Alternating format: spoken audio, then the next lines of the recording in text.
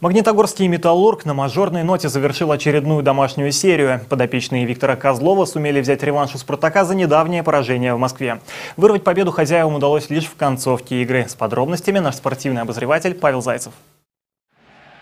«Спартак» ни разу в истории не побеждал в Магнитогорске. Шанс сломать неприятную для себя традицию у москвичей был именно в нынешнем чемпионате. Красно-белые очень прилично идут по сезону, а «Металлург» переживает непростые времена. Счет открыли гости. На 14-й минуте свою первую шайбу в КХЛ забросил 19-летний Илья Талалуев. Но одну маленькую победу в стартовом периоде одержали и хозяева. Драка между Ильей Берестенниковым и Артемом Ворониным закончилась с явным преимуществом магнитогорца. Но порадовать родные трибуны голами до перерыва подопечным Виктора Козлова не удалось. Со всеми тяжело начинать. Все сейчас команды быстрые, так что мы играем в свою игру, побольше на стараемся бросать, наваливать. Обидно, что пропустили, будем стараться исправить ситуацию.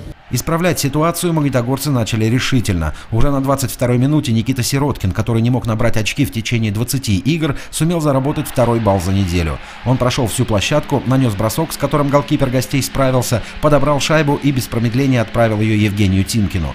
Тот в фирменном стиле вылез на ворота и заставил ошибиться Маркуса Свенсена.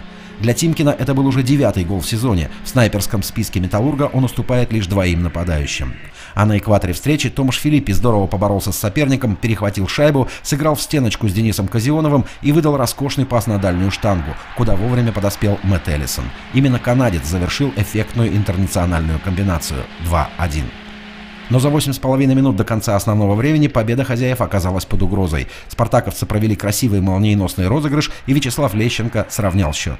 В нынешнем сезоне магнитогорцы нередко проигрывали концовки матчей, однако в этот вечер они заслуживали другого результата. Очень доволен э, ребятами, э, очень доволен то, что не опустили руки, когда «Спартак» сравнял счет и все боролись до конца, и отсюда э, результат 3 очка. На 57-й минуте Евгений Тимкин в окружении нескольких соперников сумел сохранить шайбу в зоне атаки и при поддержке Криса Ли доставил ее Оскару Оселе. Второй снайпер Металлурга броском в касание забил по-настоящему эстетский гол. Но главное – победный. 3-2. Домашняя серия позади. А впереди два матча на выезде. 3 декабря магнитогорцы сыграют с Борисом. Прямую трансляцию из Астаны смотрите в нашем эфире в воскресенье в 15 часов 55 минут. Павел Зайцев, телекомпания ТВН.